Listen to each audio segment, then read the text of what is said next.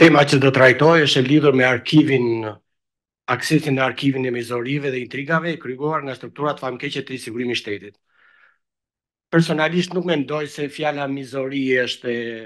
e tepruar, është hiperbol, po është reale për Shqipërinë, për arsye se strukturat famëkeqe të Sigurimit të Shtetit më përpara krijonin intrigën dhe pastaj kryenin mizorinë. Mjafton të them nja dy shifra që sa është numri i të burgosurve politik, rreth 19750 dhe rreth 6400 numri i personave të të ekzekutuar apo të pushkatuar me apo pa vendim gjykate, për të bërë realitet këtë mizori e cila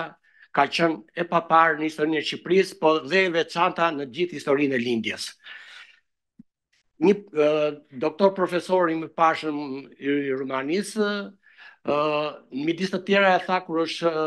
hapur muri ose në momentet e fundit të hapjes së murit të Berlinit, kanë vrarë një person. Këtu ka pasur vrasje në masë në vite, duke filluar nga 44-a, por ajo që dua të them, kur muri i Berlinit ra në 89-ën, këtu vrasjet në kufi, në kufi shtoheshin pa masë dhe janë me mijëra me mijëra të tillë, që është edhe kjo e veçantë për Shqipërinë, dhe kur trupat e tyre akoma familjarët nuk i kanë marrë. Për t'u futur tek tema aktuale. Arkivat janë institucione shumë të rëndësishme, janë institucione shumë të rëndësishme të trashëgimisë historike kombëtare dhe si dhe si të tilla ato luajnë një rol të rëndësishëm në faza të ndryshme të procesit gjatë procesit të drejtësisë tranzitore. Mënyra se si konceptohen arkivat, qoftë formalisht, po edhe në mendjet e njerëzve, në mendjet e njerëzve ndikon në komunikimin që në kontributin që ato mund të japin për trajtimin e drejtësisë drejtësisë tranzicionale në përgjithësi dhe trajtimin e të shkuarës në veçanti. Ngritja e autoritetit për informim mbi dokumentat e sigurimit të shtetit shtatë vjet më parë dhe plot njëzet e pesë vjet mbas vendosjes pluralizmit në Shqipëri ishte një gur kilometrik i rëndësishëm për trajtimin e së shkuarës në Shqipëri për periudhën 44-91 si fushë veprimi i ligjit bazë me cilin operon autoriteti për informim mbi dokumentat e sigurimit të shtetit. Mbledhja e dokumentave sekrete të ish sigurimit të shtetit, administrimi i tyre, përdorimi, hapja dhe leximi i tyre, i dokumentave të krijuara gjatë historisë së dhimbshme 45 vjeçare dhe të errët, ishin nga detyrat e para dhe nga më të rëndësishme që institucioni jonë ka pasur. Arkivi i autoritetit ndihmon, arkiva të të të administron dokumenta arkivore me tipologji të ndryshme, të krijuara, siç e thashë, për periudhën 29 nëntor 44 deri në 2 korrik 91, në të cilat të cilat ky dokumentacion janë grumbulluar në katër salla në katër salla ambiente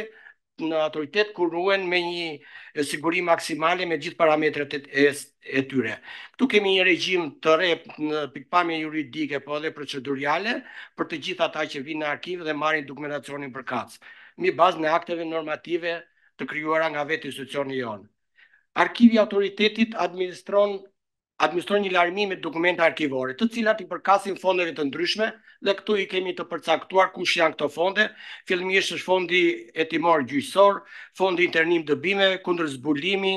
zbulimi, komunikata ditore, dega e sigurimit naftës, fondi arkivor nga dega e sigurimit të ushtrisë e të tjera. Në drejtim të kundërzbulimit dhe zbulimit përfshihen materiale operative si kartela, regjistra e procesverbale, të arkivuara këto sipas drejtorive të ndryshme të organeve të punëve të brendshme të asaj kohe. Njëkohësisht, kategoritë e dosjeve të dokumentave që ne administrojmë janë të larmishme. Ato përfshijnë dosje me dokumenta administrative dhe korrespondenca zyrtare, dosje të personave që viheshin në përpunim aktiv dy A apo dy B dhe dua për të interesuarit të sqaroj se dosjet me përpunim të një niveli dy A ishin kategoritë e personave që futeshin ishin gati për të futur në burg dhe kë, do se në me përpunimin e nivelit 2B ishin ata paraprak apo ashtu si, si unë i quaj lojtarë rezervë ishin në rast kur s'bëhesh plani i sigurimit shtetit për numrin e caktuar të burgosurve futeshin këta me nivel përpunimi 2B. Ky arkiv gjithashtu dua të them që përmban dhe dëshmi të dëshmitarëve, video, incizime, transkripta gjyqësore dhe prova të tjera që mund të përdoren për të identifikuar autorët përgjegjës po dhe për të kërkuar drejtësi për viktimat. Në arkivin e dokumentave të Sigurimit të Shtetit, Kjo është një foto të cilën ju do ta shihni edhe nesër në vizitën që do të bëni pranë autoritetit, foto e arkivit. Të ilustrua këto me ato që thamë përpara, kundërzbulimi, zbulimi, të huajt, Dhe këtu po japim disa statistika të dokumenteve në lidhje me dokumentacionin që administron autoriteti. Kemi 22 milion dokumenta të krijuara nga veprimtaria e organeve të punëve të brendshme në nivel qendror dhe lokal, janë rreth 212.145 dosje të ndryshme, 1.600 regjistra, 1.021 dosje për persona dhe procese politike, 15.000 dosje hetimore dhe gjyqësore, 8.500 raporte dhe akte normative, 2.500 të dhëna personale. Ky dokumentacion arkivor, duhet ta themi, është dëshmi e gjallë për jetët e shkatërruara të shumë njerëzve, dhunën e aparatit shtetëror mbi qytetarët, burgosjen dhe ekzekutimin në masë me ose pa vendim gjykate. Dosjet ishin sekrete, SHISH mbante një pjesë të konsiderueshme të këtyre dosjeve mbas vitit nëntëdhjetë e një, po dhe më dhe Ministria e Punëve të Brendshme. Dhe njëzet e pesë vjet pas Vendosjes pluralizmit, këto tashmë nuk janë më sekrete, nuk është më tabu, ka mjete dhe mekanizma dhe procese, siç është ai i deklasifikimit për të, për t'i ardhur afër realitetit.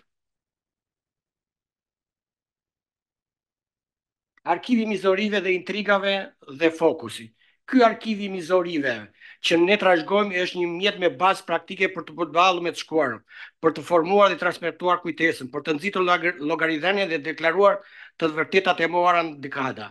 Dalja në dritë e dokumentave, leximi i çdo flete dhe ballafaqimi me dëshmitë e viktimave, hulumtimi e kërkimi shkencor janë rruga se si secili nga ne dhe shoqëria çlirohet nga kjo matricë e errët. Pra, mund të përmbledhim se kur bëhet fjalë për dokumenta të sigurimit të shtetit, nuk bëhet më fjalë për sekret apo për heqjen e apo por për heqjen e një perdeje dhe zbulimin e identitetit të vërtetë të vlerave, gjërat e pathëna, gjërat e panjohura, për figura të ndritura të kësaj shoqërie dhe këtij kombi, i bëjnë mirë këtij kombi dhe kësaj shoqërie. Kjo gjë bëhet për Shqipërinë, bëhet për shqiptarët, bëhet për fatet personale, që secili nga ne mos t'ia lërë trashëgim të kaluarën e errët fëmijëve. Ndaj si përfundim mund të themi se hapja e dosjeve të policisë sekrete në komunizëm është thelbësore për promovimin e mirëkuptimit historik, llogaridhënies, drejtësisë për viktimët, sepse më së paku familjarët e tyre kanë të drejtë të dinë për atë çfarë u ndodhi atyre njerëzve të tyre dhe kush ishin përgjegjësit. si e shofim ne arkivin e mizorive dhe intrigave dhe si e përdorim atë. Duhet të mbajmë parasysh që komunizmi, edhe pse e propagandonte e propagandonte veten si një sistem që promovonte barazinë dhe drejtësinë sociale vetëm i tillë nuk ishte. Ai u shoqërua me dukuri që rezultonin në shkelje të hapura të të drejtave të njeriut në varfëri ekstreme dhe linçim fizik. Prandaj themi që ne e shohim arkivin si një si një dokument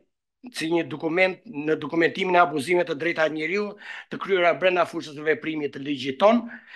me të cilin organizohet dhe funksionon autoriteti. Në nxjerrjen në pah të veprimeve abuzive të kryera nga qeveri zyrtarë apo individë, të asaj kohe në funksion të rritjes së ndërgjegjësimit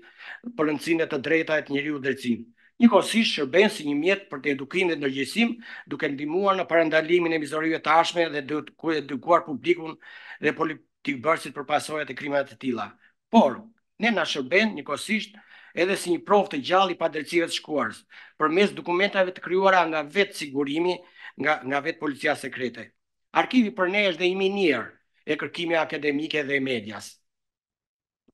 Po njëherazi është dhe si burim njohje për individët e afërm e tyre të dënuar dhe përndjekur, vrarë, egzek... të zhdukur gjatë komunizmit, ballafaquar me të vërtetat e viktimave dhe familjarët e tyre. Arkivi po na ndihmon dhe për krijimin e rrëfimeve, për të prodhuar të vërteta të ndryshme nga ato të kaluara apo dhe të tashme. Dhe kjo na ka çuar deri krijim, deri krijimi të një arkivi të gjallë me dëshmi nga të mbijetuarit e burgjeve, internimeve dhe familjarët e tyre. Paraqitja njëkohësisht, paraqitja e dokumentave arkivore në ekspozita që në aktivitetet që ne zhvillojmë janë bërë të aksesueshme dhe kanë treguar janë me interes për një publik më të gjerë dhe kanë impakt në Shqipëri. Por edhe për prodhimin për përdor, për prodhimin e programeve edukative në të cilën synojmë përfshirjen e gjithë Shqipërisë dhe sidomos rinisë. Së fundi arkivin ne po e përdorim për ndërtimin e një platforme edukuese për të vërtetuar historinë, kjo si për mësuesit, nxënësit e sistemit parauniversitar. Për këto do të flasim pak më vonë kolegja ime dhe s'po ndalem më shumë. Por detyra, ajo që dua të them, detyra kryesore e autoritetit është që të sigurojë që drejtësia të drejtën e çdo qytetari që të kenë akses në dokumentat e krijuar nga ish sigurimi i shtetit apo i grumbulluar për ta, duke parë si prioritet mbrojtjen e të drejtë e të drejtave për privatësinë e çdo pale të tretë, por dhe të sigurohet respektimi i të drejtave të njeriut dhe dinjiteti i gjithë personave. për të kaluar tani te procesi i deklasifikimit. Deklasifikimi i dokumentave sekrete është në radhë të parë, vjen si nevojë, vjen si rrjedhojë e nevojës historike, ku deklasifikimi i dokumentave sekrete mund të sigurojë njohuri të vlefshme për ngjarjet e kaluara dhe të na ndihmojë historianët dhe studiuesit të njohin më mirë arbitraritetin e vendimeve dhe veprimeve të ish pushtetit të asaj kohe. Njëkohësisht, përveç se deklasifikimi bëhet edhe për interes publik, duke u ofruar qytetarëve informacionin përkatës njëherazi, deklasifikimi i dokumentave sekrete ndihmon në promovimin e transparencës dhe hapjes, gjë që është thelbësore për rritjen dhe ndërgjegjësimin e publikut në institucionet demokratike. ka disa mite për policinë sekrete në komunizëm, të cilat janë të rëndësishme për t'u hedhur poshtë. Dhe sigurisht që deklasifikimi i dokumenteve, analizimi i tyre është një proces që rrëzon mite dhe nxjerr të vërtetat nga errësira. Për shembull, miti se policia sekrete ishte e nevojshme për të ruajtur e rendit, për për ruajtjen e rendit. Ky është një mjet, një argument i zakonshëm që përdoret që përdoret për të justifikuar ekzistencën e policisë sekrete në regjimet komuniste. Megjithatë, e vërteta është se policia sekrete e përdoret kryesisht për të shur, për të shtypur disidencën dhe për të ruajtur pushtetin e partisë në pushtet, sesa për të ruajtur rendin. Me hapjen publike të dosjeve për konferenca shkencore, por edhe për studime të bëra për figura shumë të ndritura, të nderuara të kohës, me aktivitet me një aktivitet politik dhe shoqëror për të konsideruar për të konsideruar një vlerë kombëtare si ajo e Martin Camajt, Arshi Pipës, të Ernest Koliqit, Musine Kokalarit, vlerësojmë se policia sekrete synonte më së pari disidentët politikë dhe kundërshtarët politikë, të regjimit, ata që avokonin ideale të ndryshme nga pushteti. Dokumentet na tregojnë gjithashtu dhe për shënjestrim, për shënjestrim nga ana e policisë sekrete të qytetarëve të thjeshtë, për shkelje të parëndësishme si humori, barsaletat, anekdotat, komentet kritike për qeverinë. Ne të tilla dosje kemi parë shumë. Po për të qarë dhe për të qeshur po jap një ilustrim. Një shqiptaro-amerikan vjen në vitet e diktaturës në Shqipëri dhe në një bisedë me shokët e vet përmend fjalën që në Amerikë mollët ishin të mëdha, këtu në Shqipëri të vogla. Dhe vetëm për këtë, ai ky, ky shqiptaro-amerikani i ardhur në atdheun e vet, pa pësoi burgosjen e tij politike me me veprën penale të ashtuquajtur të agjitacion propagandë. Dhe për ironi të fatit, kur doli nga burgu e pyti kolegu i vet, si janë mollët në Shqipëri? Mollët në Shqipëri të mëdha, tha, në Amerikë të vogla. E këto ishin barska, me mijëra barsaleta të tilla anekdota që për, për efekt kohe nuk mund t'i përmendim. Njëkohësisht, dua të them që kjo matricë e lidhur, e ndërlidhur me fije frike, gënjeshtra, bashkëfajësie, mosbesimi e mediokriteti, ka efekt për sa kohë është e fshehtë. Dalja në dritë e dokumentave, leximi i çdo flete dhe plotësimi me dëshmi të viktimave dhe me hulumtime e kërkime shkencore Janë rruga që secili nga ne, por dhe shoqëria çlirohet nga kjo matricë e re. Prandaj, edhe ne si autoritet kemi është ngritur Komisioni i Deklasifikimit dhe Zhvlerësimit të Informacionit të Klasifikuar me urdhër të titullarit të institucionit dhe aty zbatohen rregullat e përcaktuara në detyrimet në që ka autoriteti, rregullat përkatëse ku parësore është mbrojtja e interesit publik dhe sigurisë kombëtare, pajtimit dhe unitetit kombëtar.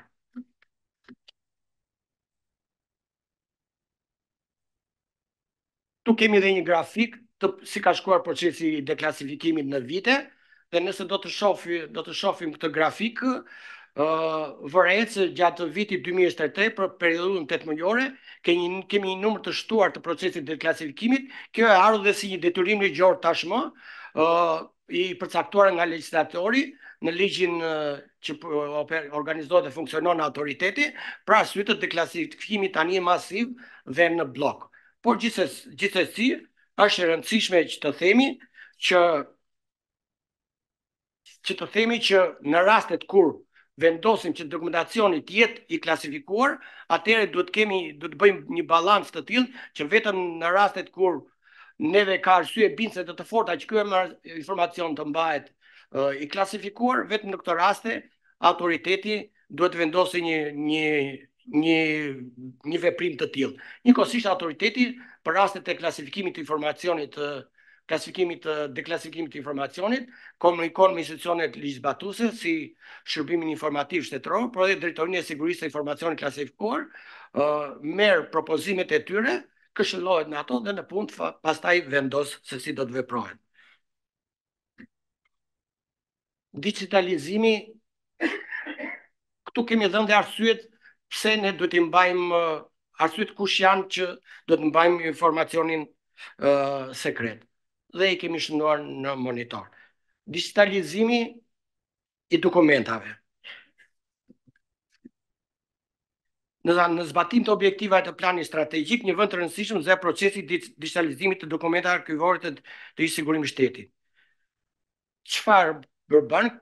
digitalizimi i dokumentave arkivore, krijon lehtësira procedurale, zgjeron zgjeron informacionin e aksesueshëm në mënyrë efikase dhe të shpejtë për përdoruesin. Njëkohësisht, shfrytëzimi i dokumentave të dixhitalizuara bëhet nga riprodhimi i dokumentave origjinale, shërben si kopje autentike e dokumentit origjinal, ruan cilësinë e të dhenave si dhe ndihmon arkivistët, punonjësit të jenë sa më produktivë, ruajtjen e dokumentit nga dëmtimi gjatë përdorimit fizik të tij. Nëpërmjet dixhitalizimit, reduktohet përdorimi i dokumentave origjinale të cilat i përkasin viteve dyzet e katër dhe nëntëdhjetë e një dhe janë në gjendje të vjetër, të dëmtuara dhe kërkojnë një ruajtje sa më afatgjatë të tyre. në një të ardhme shumë të afërt, gjatë viteve 2024-2026, parashikohen të digitalizohen të gjitha dokumentacionet arkivore që administrohen nga Autoriteti, duke zbatuar në radhë të parë këtu standardet ligjore dhe metodologjinë e punës në arkiva. Njëkohësisht, një risi e re që na pret është edhe Mediateka. nëpërmjet kësaj platforme, një pjesë e materialit që disponojmë, mendojmë t'ju afrojmë pub, t'ja të kemi mundësi të afrojmë publikut, pa qenë nevojshme të paraqiten fizikisht në ambientet e autoritetit. Tipo, tipologjia e dokumentave që do të gjenden në to, do të jetë e ngjarë, do të jetë me ngjarje të ndryshme historike, por edhe me material, por edhe me materiale mbi mënyrën e funksionimit, strukturën, udhëzimet, raportet, metodat dhe zhvillimin e sigurimit të shtetit si sigurimi i shtetit sipas viteve kur kanë ndodhur ngjarjet. Kryesisht, realizimi i Mediatekës synon krijimin e aksesit për të gjithë të interesuarit si studiues, mësues, studentë, nxënës, por dhe gazetarë për të marrë informacione të përgjithshëm me ose me karakter historik. Pozicionimi i Autoritetit në drejtësinë tranzicionale, e preku edhe pak parafolësja, Më shkurt? Po, e preku dhe më pak po, parafolësja drejtësinë tranzicionale, kështu që nuk po ndalem shumë në këtë. Ajo që dua të them, po kështu edhe ndryshimet që i pësoi ligji, ligji jonë i autoritetit së fundi, në lidhe me procesin e deklasifikimit, por edhe me me procesin e verifikimit të figurave kur u hoq ajo dispozita e famshme e Komisionit Mezini-Bezhani, tani kemi më shumë hapësira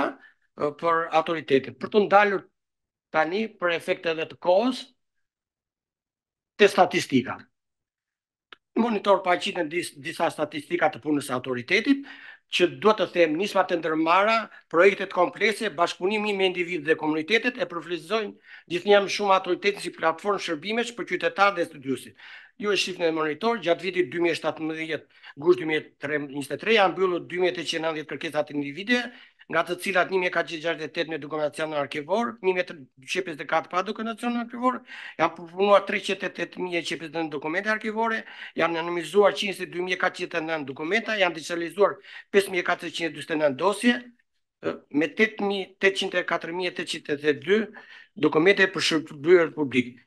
Janë verifikuar rreth 2750 kandidatë për t'u emëruar apo ngritur në det në detyrë, 498 kërkesa studimore, nga të cilat 2626 dosje janë vënë në dispozicion të studiuesve vendas dhe të huaj, ku janë trajtuar 298186 dokumente arkivore, si dhe një një numër shumë i madh dosjesh e fashikuj, 538 tre tre mijë e pesëqind e doku dokumente arkivore janë deklasifikuar. I gjithë është një dokumentacion që ishte i pamundur të aksesohej më parë. Këto janë rezultatet dhe fruti i një pune të palodhur profesionale të stafit teknik të autoritetit në drejtimin e kryetares së autoritetit, e cila ka vepruar me maturi dhe me shumë inteligjencë dhe mbështetur dhe nga anëtarët e autoritetit si organ kolegjial në të gjitha vendimmarrjet e veta.